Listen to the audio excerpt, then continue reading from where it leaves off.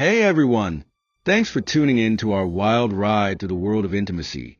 Like, comment, subscribe, and prepare for a dive into the deep end of, well, let's just say the water's definitely fine.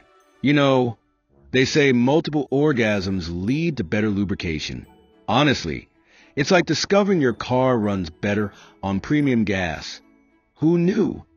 Just last night, I'm in the middle of what I thought was a romantic evening, and suddenly my girlfriend's having a multi-orgasmic meltdown.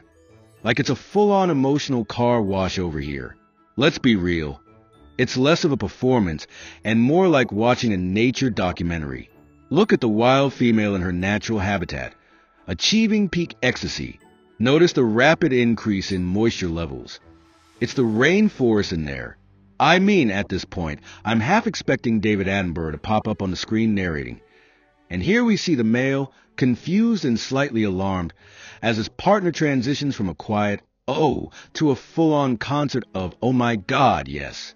But you know what they say. When it rains, it pours. Honestly, I thought I was just a mediocre plumber until this whole lubrication thing kicked in.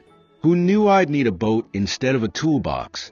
I'm sitting there, trying to navigate the waters. No paddles, no life jackets. Just hoping to stay afloat while my girlfriend's having a water-themed rave. And let's not forget those awkward vocal reactions. The sounds coming out of her mouth had me wondering if I was at a comedy club or a wildlife preserve. You know you've hit the jackpot when your partner starts sounding like a confused seal at SeaWorld. All right, folks, remember, if you ever find yourself in a slippery situation, just embrace it.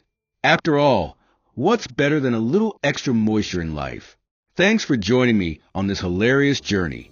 Like, comment, subscribe, and share, because who doesn't love a good laugh while navigating the waters of intimacy?